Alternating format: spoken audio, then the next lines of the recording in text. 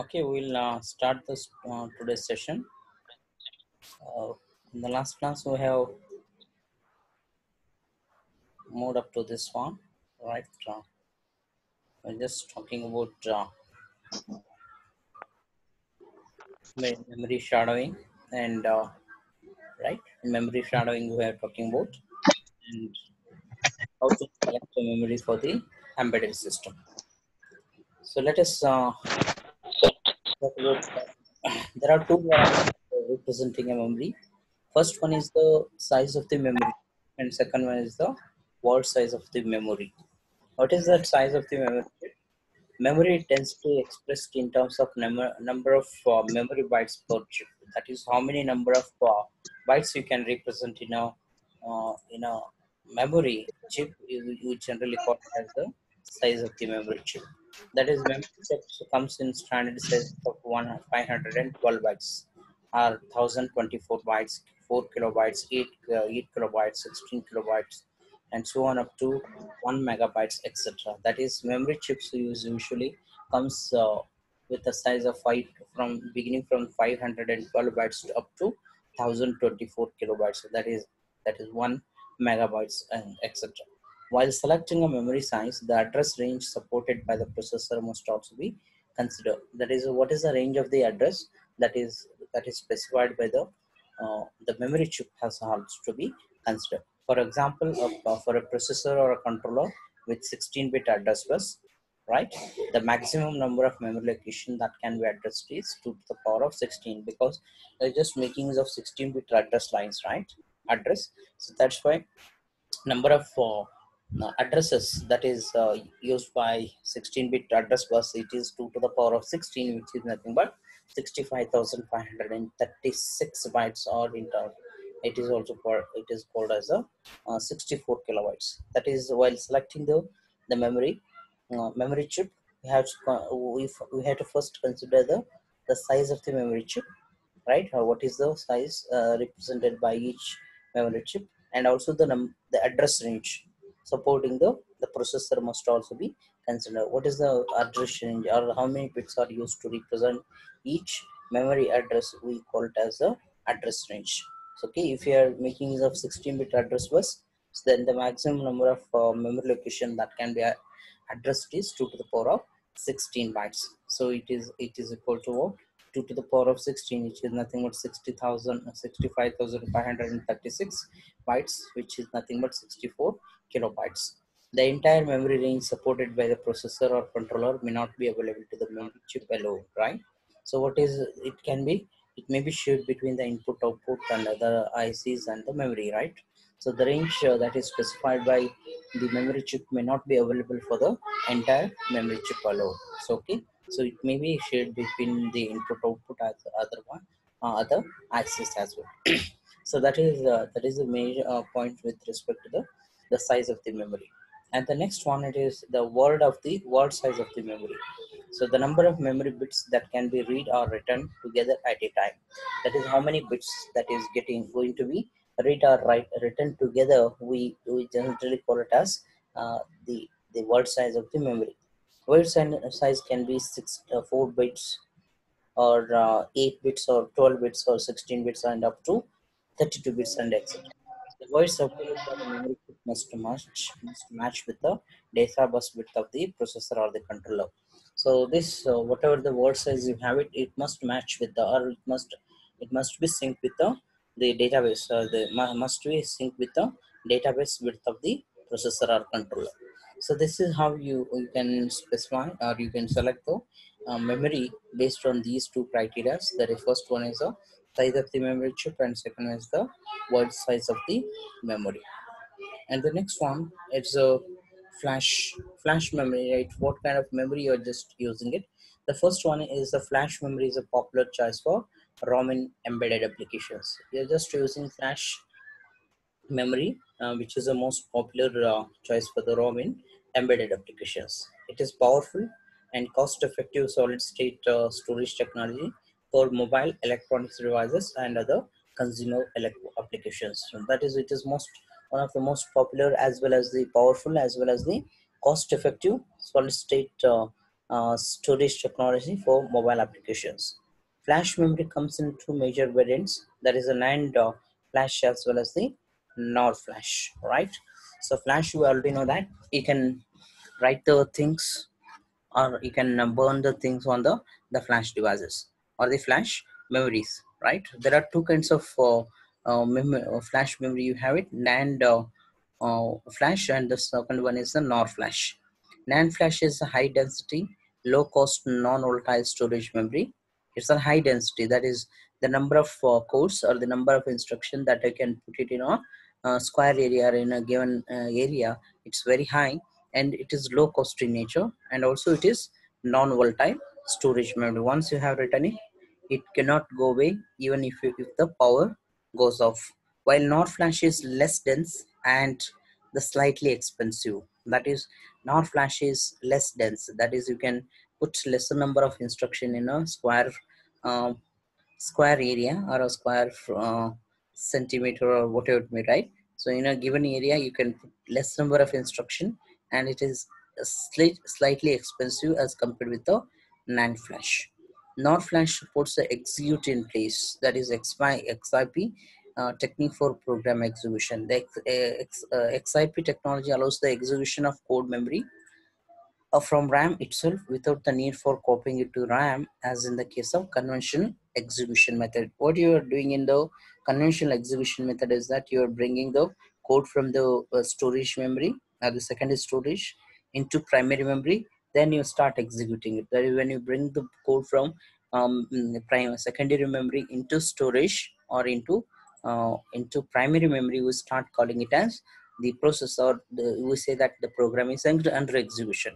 So in case of the NOR flash what you are doing is that you execute in place. That is instead of bring it to bringing it uh, from the secondary storage to the primary memory so what you're doing is that you are executing the code right? Execution of the code will be done in the rom itself. That is a read-only memory itself. So without need for copying the, it to the ram. That is without need um, uh, needing to copy into the rom. Instead what you're doing is that you are executing the code in the ram itself so that you are avoiding uh, bringing that code from uh, rom into ram. It is a good practice to use a combination of NOR and NAND memory for storage requirements where NAND can be used for storing the program code or uh, data and like the data I captured in a uh, camera device right? You're just using like it is be best approach to uh, use both the combination of NOR and the NAND gate or the memory storage memory for storage uh, memory requirements where NAND can be used for st storing uh, the program code or data like uh, the data captured in the in a camera device. And uh, NAND flash doesn't support XIP and if the NAND flash is used for storing program code uh, DRAM can be used for copying and executing the the program code right? Instead right uh, the NAND flash doesn't support XIP there's an execute place. That's why what you're doing is that you are using DRAM to copy uh, it can be used for copying copying uh, uh, and executing the the program code. And NOR flash supports XIP and it can be used as a memory for bootloader or for even storing the the complete program itself right? So in case of NAND what you're doing is that it doesn't support execute uh, in place. That's why what you're doing is that you are you are to store the program code you are using DRAM that is a dynamic random access memory. But whereas NOR flash supports xip that's why both program code as well as your uh, uh, all your data will be stored in the uh, rom. So you're, you're going to execute the program in the rom itself. So it and it is basically used for uh, memory for bootloader or even for storing the, complete program right? So that is one advantage of the uh, NOR flash that is you are just using it is used as a memory for bootloaded instructions right bootloaded in the sense in the sense whenever you boot the system there are some instructions that has to be started uh, loading the instructions right so to have that one you need uh, uh, like those instruction will be stored in the NOR flash so this is what uh, you are just uh, using with the uh, what you call it as the embedded system. Flash memory is the popular choice for the norm in the embedded applications. And the EEPROM data storage memory is all, uh, as either serial interface or the parallel interface as well, right? You are also using EEPROM uh, data storage memory is available as either serial interface or parallel interface chip. That is that is also being used with the uh, embedded system. And if the processor or controller of the device supports serial interface and the amount of uh, data to write and read to and from the device is less, it is better to have a serial EEPROM chip itself, right? You can use uh, both uh, EEPROM with the uh, serial interface as well as the parallel interface uh, chip as well. If the uh, processor or the if the embedded system uh, is is writing or reading less amount of data from the device, then it is to, it is better to have the serial interface, serial EEPROM chip itself. The serial EEPROM saves the address space of the total system, right? Oh, what you're doing is that it saves the address space of the total system because the number of uh, uh, read and writes are very less in case of the the serial interface. The memory uh, capacity of the serial EEPROM usually expressed in bits or kilobits, right? It is it's it's not bytes it is bits that is kilobits and as well as the it is expressed in terms of bits as well as the the kilobits that is 512 bits 1 kilobits and 2 kilobits 4 kilobits etc are examples of for serial EEPROM memory representations. It is basically an example that is 512 bits and 1 kilobits are the example of the serial EEPROM memory representation that is EEPROM serial EEPROM uh, uh, interface is basically used when uh, the amount of data to read and write is very less from the device then you, you are using serial interface chips.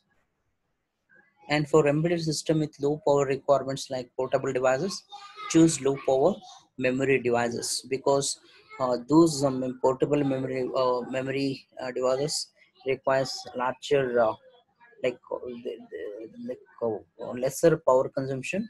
That's why such for such uh, embedded system you should select the memory devices which requires lower powers right? Which requires lower power consumptions right?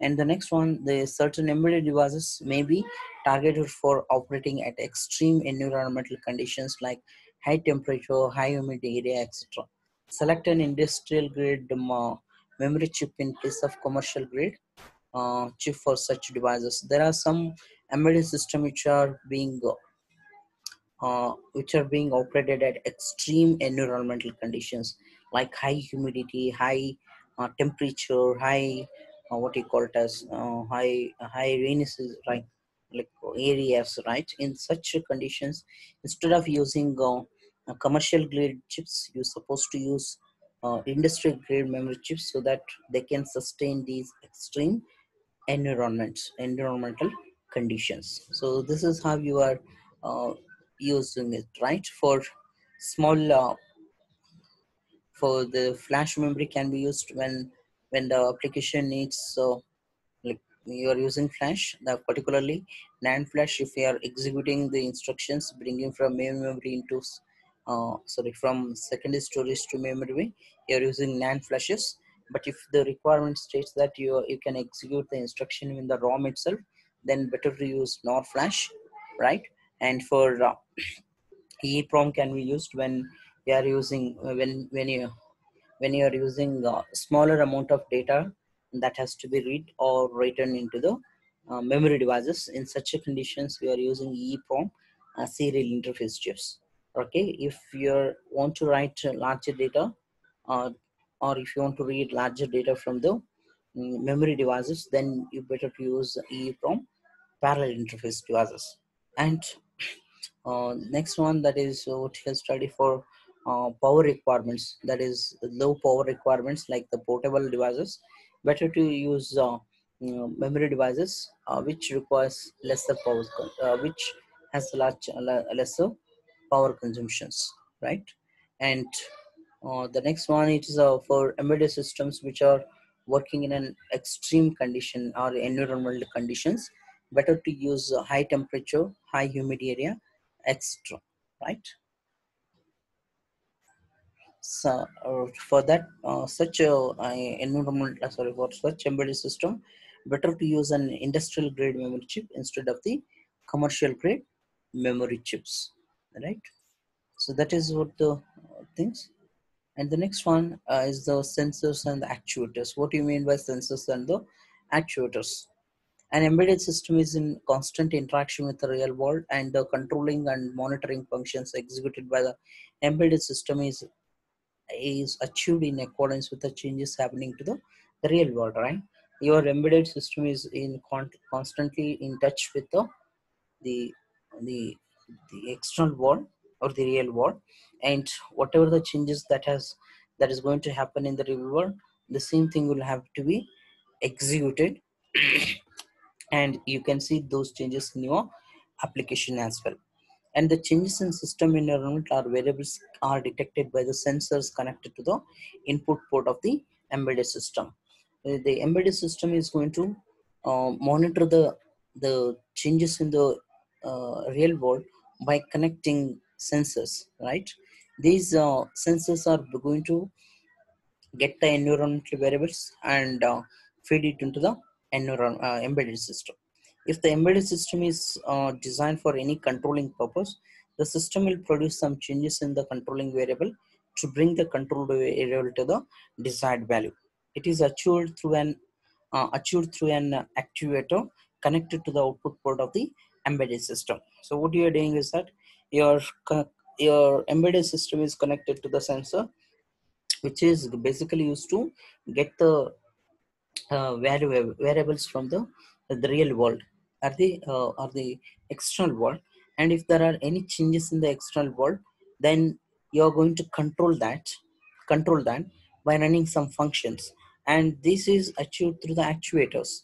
And what the actuators will do is that they're making some they're producing some changes uh, in in the controlling variables and these controlling variables will bring the uh, the control variable to an desired level. Let's take for example, I'm just monitoring or I have an embedded device uh, which is basically used to monitor the uh, room temperature, right? So I, I just wanted to set the room temperature as 20 or let us take I want to set the room temperature at 25. If the external uh, so and uh, this embedded system is connect uh, is connected to the what you external world using a sensor device. Now the sensor device uh, will continuously monitor the active uh, sorry uh, changes in the temperature of the external board let us take if the if the external board is having a temperature of 20 30 degrees then the sensor will capture that variable and it will give it to the embedded device. What the embedded device will do is that it is going to uh, change the variable in such a way that your room temperature will be maintained at 20 degrees sorry 25 degrees even though the external uh, temperature is of 35 degrees celsius so it doesn't matter. So your embedded system is going to activate the actuators so that it can maintain the uh, the room temperature at 25 degrees celsius. If let us take if the room temperature uh, i have connected the embedded device with a sensor and now the external uh, temperature or the real world temperature real uh, world temperature is 20 degrees. Right? Real world temperature is 230 degrees. That is it is very cool, a cold one. In that case uh, the sensor will capture that data and it will give it to the embedded device. And what the actuator will do is that actually actually set the room temperature to 20 degree, 25 degrees celsius stating that it is too cold outside so now you have it is it uh, the room temperature will be set to some warmer conditions so that is that is how your uh, actuator uh, is going to do.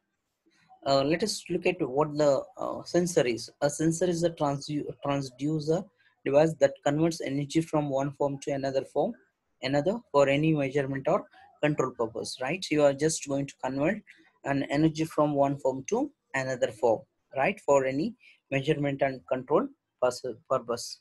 And example is temperature sensor, magnetic Hall effect sensor, humidity sensor, and there are some sensors like uh, these are the, the, some of the sensors which are basically used to uh, convert an energy from one form to another form And let us look at what do you mean by an actuator.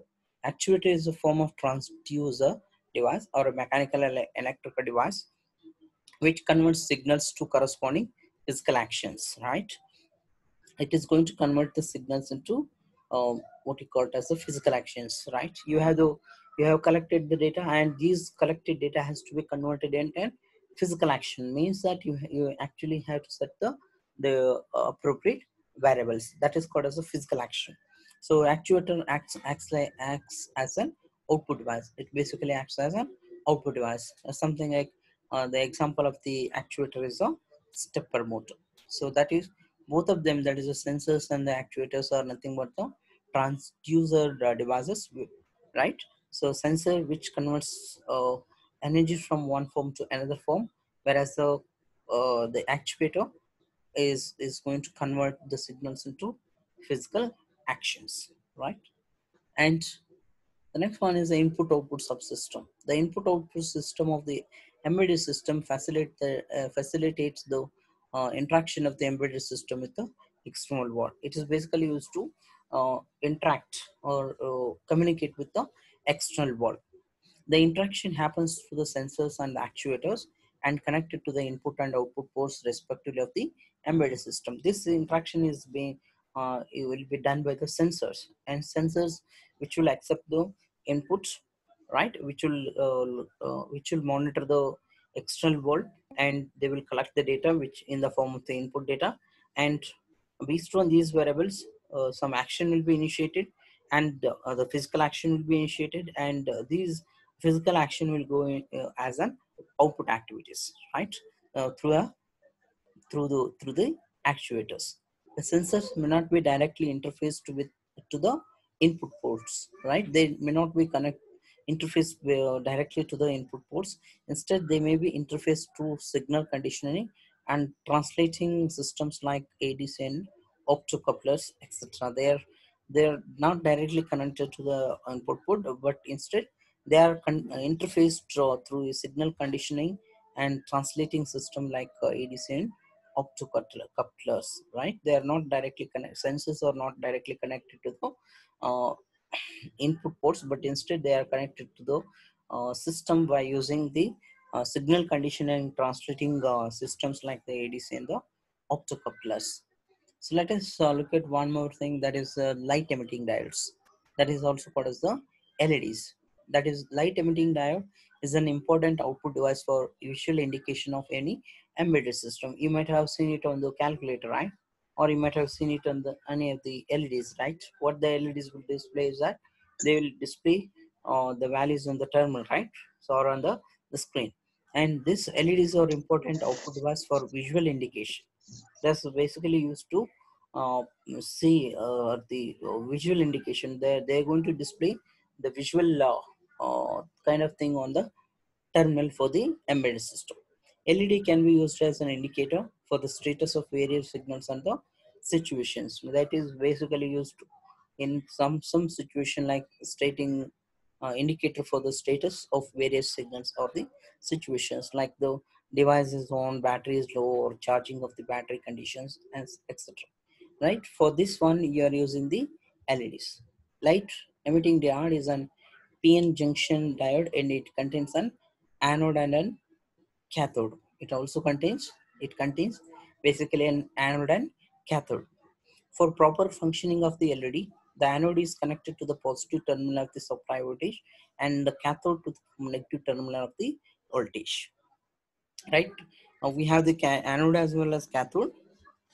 Right? And this is the, the anode is connected to the positive side of the terminal of the supply voltage and cathode to the negative terminal of the voltage supply, right? The current flowing through the LED must be below the maximum current that it can conduct, right?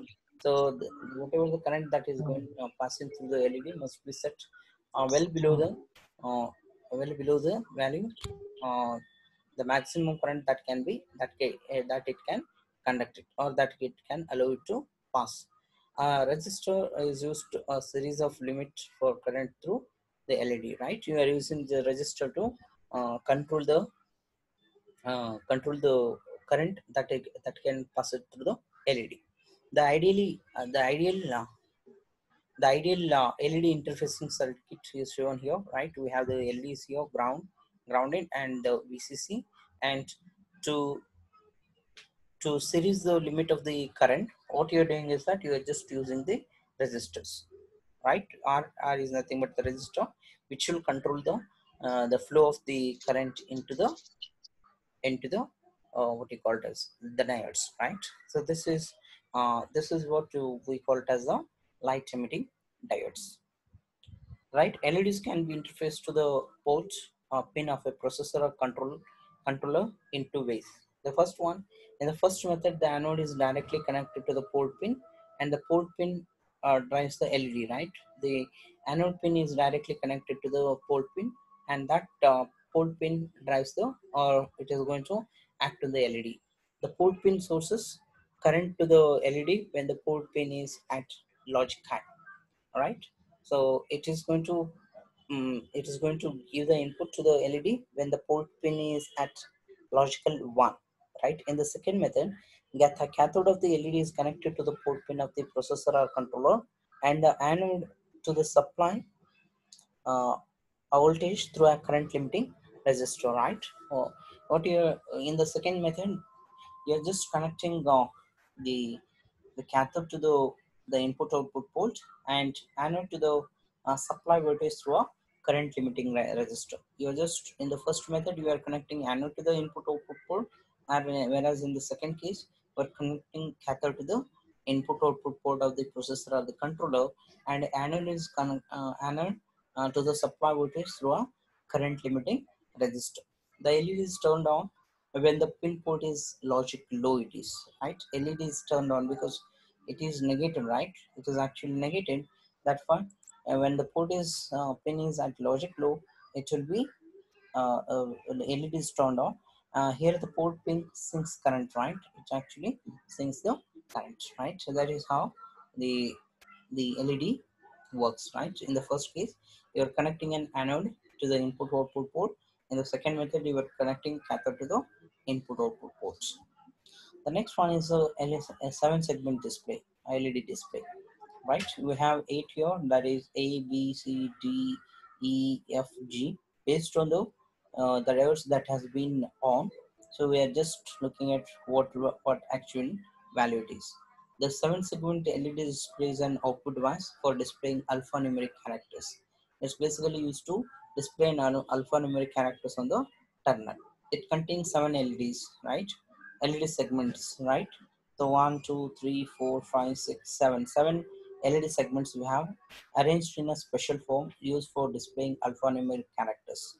So okay, they are arranged in the in a special form. So uh, that is basically used to display alphanumeric characters. And one LED used for representing decimal point in decimal number display, right? one LED is used for used for uh, uh, representing a decimal point in uh, decimal display, right? One one LED is used for displaying one decimal point.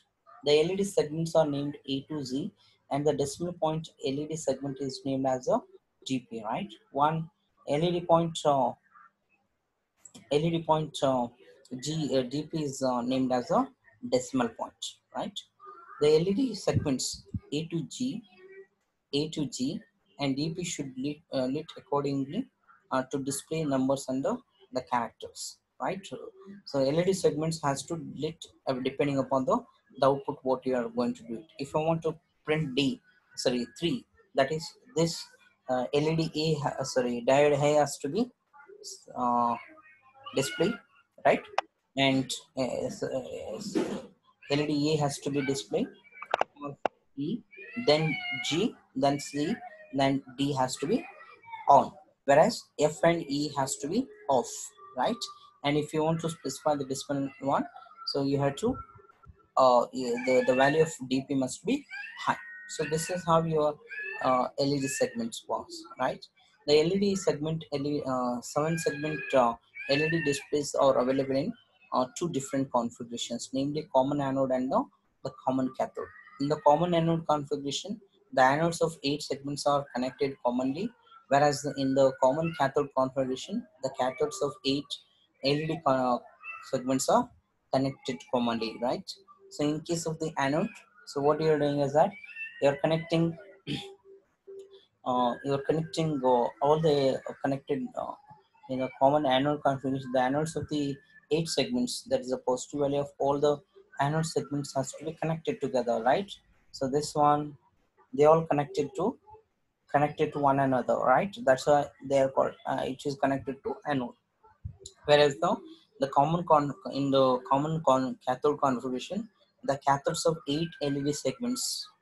These are all connected to one another right? Segments are connected commonly. Illustrates the common anode and cathode configuration. This is for the anode configuration and this is for the cathode configurations right? Here uh, probably you're uh, connecting to the the positive value of the sorry uh, uh positive value of the inputs whereas, uh, as uh, it is connected to the, the negative values right? This is how your uh, common uh, anode uh, display, LED display works and the, the cathode um, common uh, cathode uh, LED dis display works, right? So this is how your uh, seven segment display works.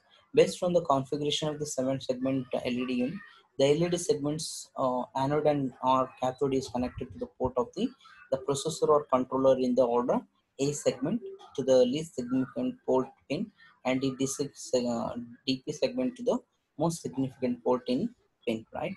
So based on that, so the the uh, the A, A segment is to the least significant port pin. Uh, A is the least significant port position, whereas uh, uh, the DP segment is the most significant port pin, right? So it is connected, right? A is the most uh, least significant one, and whereas the DP is called as the most significant one, which is connected to most significant pin. The current flow through each of the LED segments should be limited through a maximum value supported by the LED display. Well, we have seen it in the LED, right? So it can be achieved through uh, by limiting by including the resistors. We have seen it here, right? In here, uh, we are just uh, resisting or we are using resistor to uh, control the the flow of the current through the LEDs. The same thing we are doing here as well. So a typical value of uh, is 20 milli amperes is supported by for each LED display. The current can be limited by connecting a current limiting resistor to the anode or cathode of each segment. We're just connecting uh, or, uh, which is connected to a resistor uh, to the anode or cathode of each segments, right? So, in that way you can control or you can limit the flow of uh, current to each LED segments. The 7 segment LED display is used in low cost embedded applications like public uh, telephone uh, call monitoring devices, point of sale terminals, and etc. Right. So it is basically LED display are basically used in uh, in uh, public uh, or public telephone call monitoring devices and all the things. Right. That is what uh, the seven segment display is all about. And the next one is optocoupler. Optocoupler is a solid state device to isolate two parts of a circuit. It's basically used to, it's a solid state device which is basically used to separate two parts of a uh, what you call it as circuit. And optocoupler combines an LED and a phototransistor in a single housing. It's basically contains what you call it as a LED. This is called as a LED and then opt phototransistor in a single housing. It illustrates the functioning of a optocoupler device, which is basically used to isolate or uh, separate two parts of a circuit. So look at uh, input output interface I have it and second input output interface I have it. To separate them, this is one transistor circuitry and this is the second circuit. If you want to separate these two circuitry, you are using an optocoupler and this optocoupler basically combines uh, an LED as well as a photo transistor, right? And in electronic circuits, an optocoupler is used for suppressing interference in data communication, circuit isolation, high voltage suppression, simultaneous suppression, and signal intensification as well, right? It is with this optocoupler is used for suppressing, suppressing in the sense uh, for suppressing interference in the data communication. If the data communication is happening if there is any interference and to suppress that interference or disturbance you are using the optocouplers. Optocouplers can be used in either input circuits or in output circuits as well. This can be used both in, in input circuits as well as the in output circuits the optocoupler is available as ICs from different semiconductor manufacturers. This is basically available as ICs from different semiconductor manufacturers, right? And MCT uh, 2M IC from Fairchild uh, Semiconductor is an example of optocoupler ICs, right? This is one example of the, right, uh, I, uh, optocoupler ICs, right? Optocoupler, it can be connected for either to uh, input or it can be connected to output as well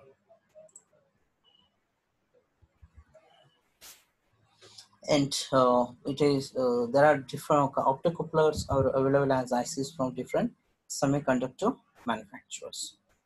And figure illustrates the usage of optocoupler in uh, input circuit and output circuit of an embedded system with a microcontroller as a system core it is. Here is one one optocoupler and the second optocoupler we are using it right?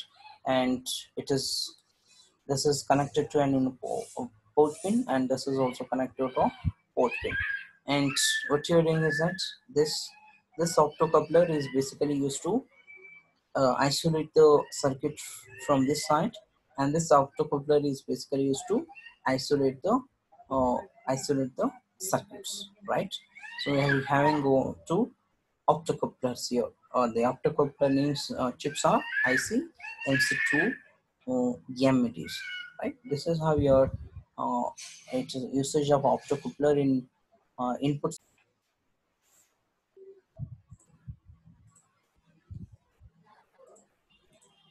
okay we'll continue the things here. And the next one is a relay. Relay is an uh, is an electromechanical device. It's a it's an electromechanical application the relay unit acts as a dynamic path selector for signals and the the power. So it basically acts as an dynamic selector or sorry dynamic path selector for signals as well as the the power. The relay unit contains a relay coil made up of insulated wire on a metal core and a metal armature with one, one or more contact, contacts on it, right? It basically contains uh, a relay coil made up of an insulated wire. Okay, it, you have an uh, relay coil which is made up of an uh, insulated wire which on a, a metal core, right? And metal, met, metal armature with one or more contacts. The relay works on the the principle of the electromagnetic right electromagnetic principle when a voltage is applied to the relay coil the current flows through the coil and which in turn generates a magnetic field. When you pass the current through the the relay coil right then uh, the current flows through the coil and which in turn generates a magnetic field. The magnetic field attracts the armature core and moves the the contact point. So it basically uh, sorry it it actually it attracts the armature core and it actually moves the the contact point. The movement of the contact point changes changes the power or the signal or uh, power of the signal flow path right? So based on the the contact as the the movement of the contact point changes and your power or the signal flow path also changes here. So this is uh, what we call what we call it as the relay which is basically used to uh, select the dynamic path of the of uh, dynamic path for the signals and the, the power which basically contains a relay relay coil made up of insulated wire on a metal core and a, a metal armature with one or more contacts on it. And relay works on electromagnetic principle. Okay it when a voltage is applied to the relay coil current flows through the coil which in turn generates a magnetic field right? Which converts or which generates a magnetic field on it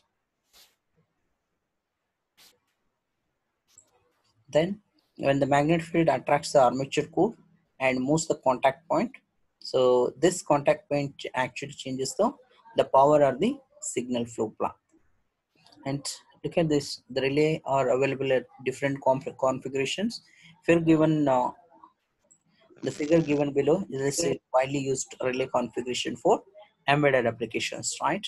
The relay coil, what I have it, and a single pole, sing, uh, single uh, through normally opens here. So, so this is this is open now. So when when you, when the current flows here, so you're just going to close it. So in that way, you're, you're just it is going to uh, change the path of the signal or the the power. So this is double one double through right? We have two points here. So when when when it is closed this is still open? When if the if you want to change the signal path then this point will eh, this is going to be closed whereas this is going to be open. So in this way we are just going to change the flow of the signal or the current so this is how you are I uh, just uh, going to use the make use of the relay in uh, selecting the dynamic uh, path for the signal as well as the power.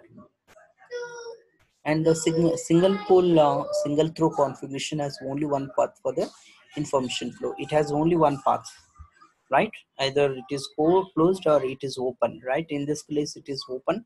So nothing is going to flow here. Nothing is going to flow through this one. But whereas in this case it is also single pole right but uh, it is closed so you can uh, the current or the signal passes through it. The path is either open or closed in normal conditions. For normally open single uh, pole single through relay the circuit is normally open and it becomes closed when the relay is energized right? When the relay is energized it's going to uh, it's going to be closed. For normally closed uh, single pole single through relay. The circuit is normally closed and it becomes uh, open when the relay is energized right? When it get energized it's going to open it. So in this case it's normally open. So all the time it is open. When it gets energized it's going to open. But here in this case it is normally closed when when the when it is get energized it is going to open it right so that is called as normally open and normally closed and single pole double through configuration. There are two paths for this information flow and they are selected by energizing or de-energizing the, the relay. So as I told you that there are two paths. The path one, this one, and the path two you can have it. So based on the the type of the like uh, which path is getting energized, the particular path will be get closed, right? And if the if you want to deactivate the particular path you have to de-energize it so that it will be it is it get open and other path will be get closed. So the information information uh, will flow in another path. That is how your uh, relay works right? So single pole single through uh, which is normally open or with normally closed and the second method is a single pole double through right? Configuration. There are two paths for information flow. They are selected by energizing or de-energizing the, relay. And the relay is normally controlled by using a relay driver right? You are just using a relay driver uh, to uh, a driver connected uh, circuit connected to the port pin of the processor or what you call it as a controller. It's basically controlled by using a relay driver which is connected to the uh, the port pin of the processor or the controller. And the transistor used for building the relay driver circuit as shown in the figure. A transistor basically uh, used to uh, building a relay driver circuit as shown in the figure. This is a transistor right which is going to uh, uh, used for building the relay driver circuit as shown in the figure. A freewheeling diode is used uh, for freewheeling the voltage produced in the opposite direction when the relay coil is de-energized. We are using the diodes. So that is basically used to uh, produce the uh, voltage, uh, it is basically used for uh, uh, freewheeling of the freewheeling the voltage that is produced in the opposite direction. If the energy is produced in the opposite direction, to handle that one we are using the uh, the freewheeling diodes. The freewheeling diode is essential for protecting the, the relay and the, the transistor. This diode is basically used for protecting the relay as well as the, the transistors because the voltage is flowing uh, uh, in a reverse direction or in the opposite direction to protect both relay coil as well as your transistor you are just using freewheeling diodes most of the industrial uh, relays are bulky and require high high voltage to operate. Thereby uh, the the most of the industrial relays are bulky and require high voltage as well.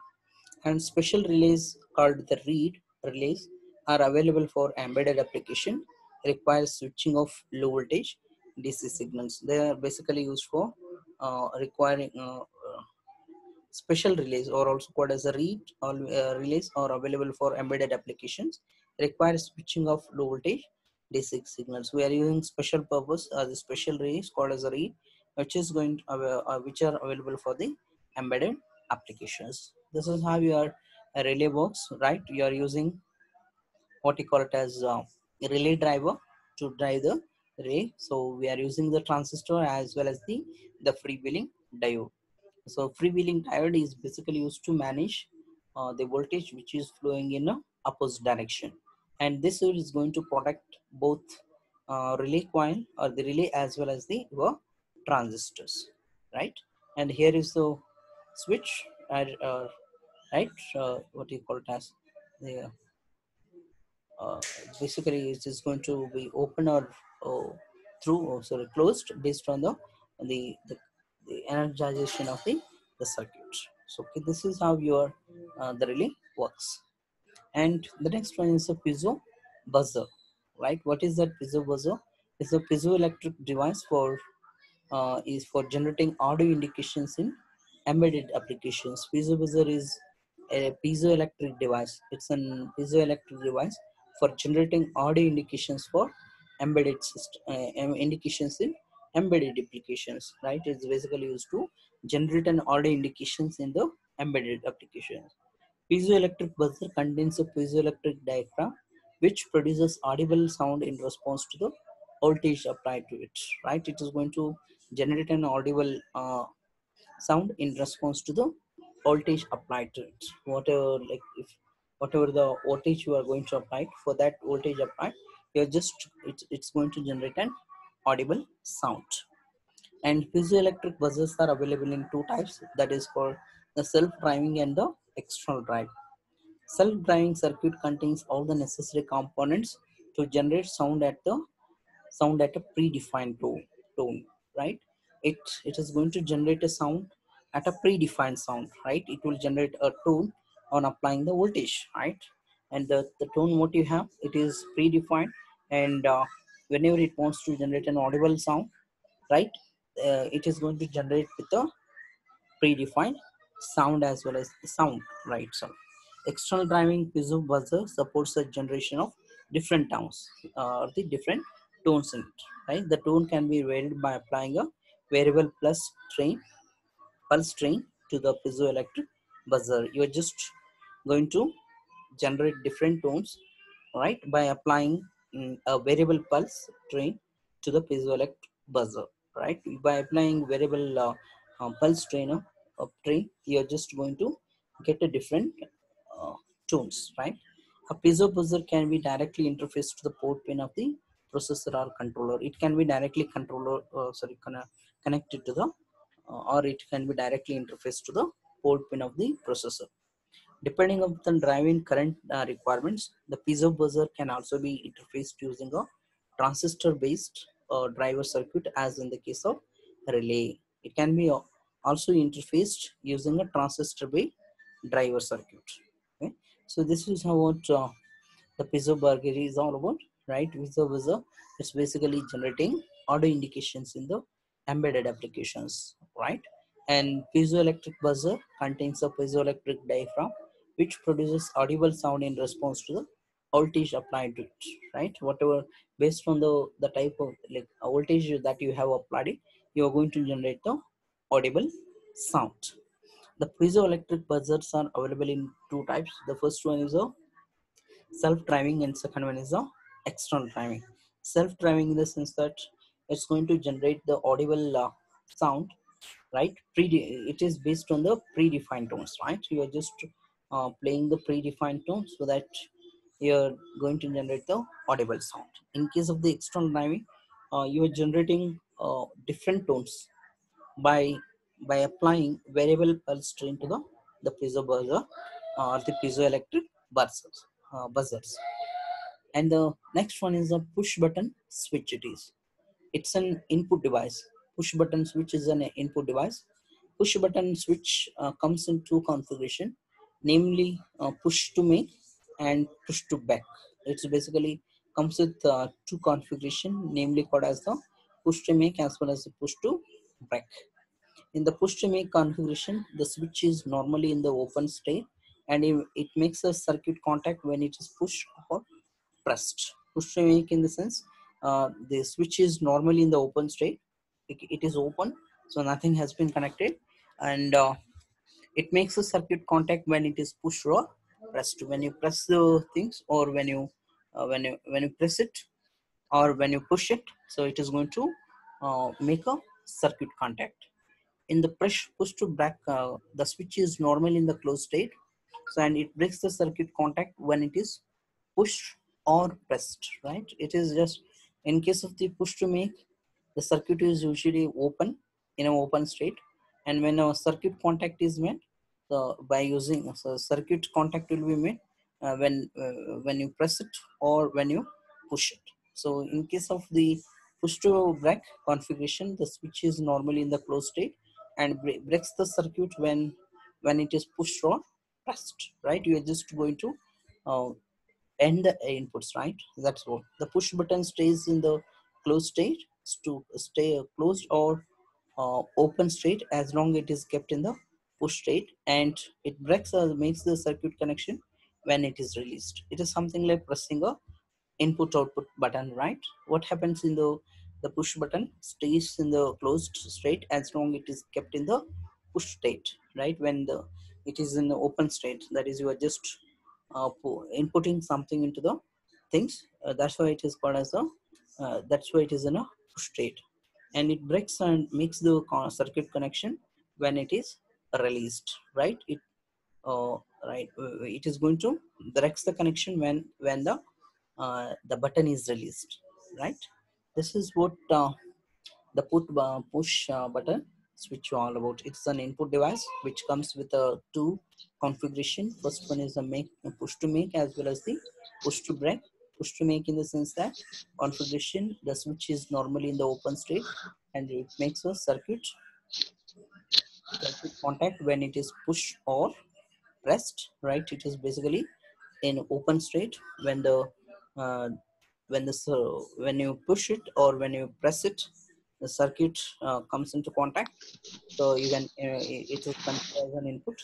The push to breaking configuration the switch is normally in the closed state and it breaks the circuit uh, contact when it is pushed or pressed.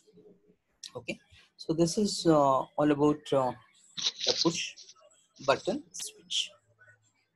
And the push button is used for generating a momentary pulse right? It is basically uh, used to generate the generating the momentary pulses right? You are just uh, uh if you want to uh, give a momentary pulses you, you are just making use of the switches.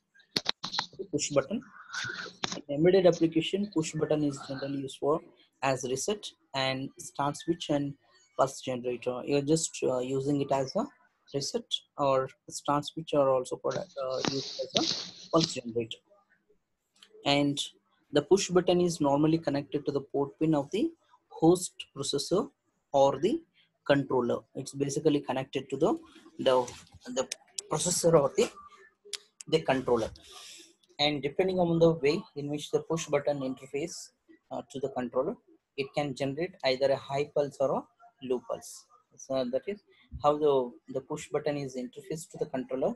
So it can generate either a high pulse or the, the low pulse. Figure like let us look at this one.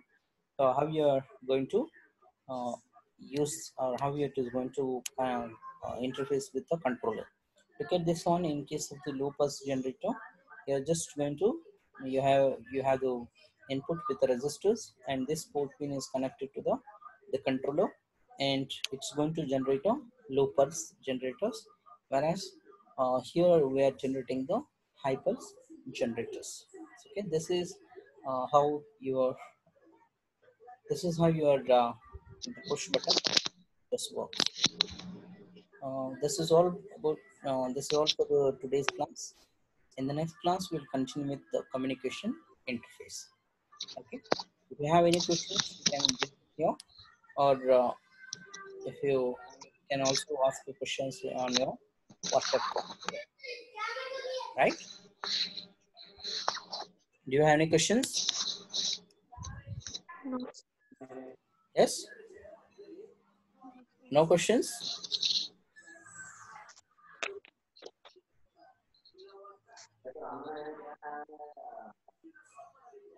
Okay we'll uh, end it for today and uh, we'll meet it in the next class.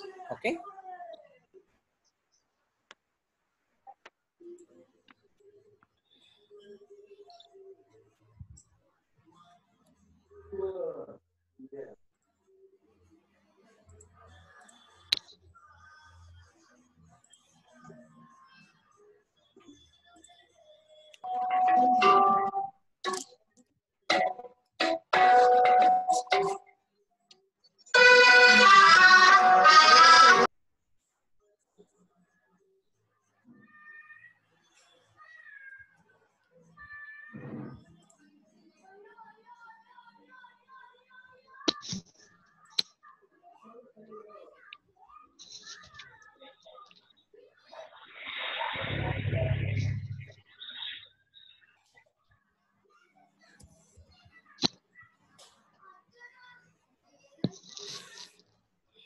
Okay we'll end the session for today and we'll meet in the next class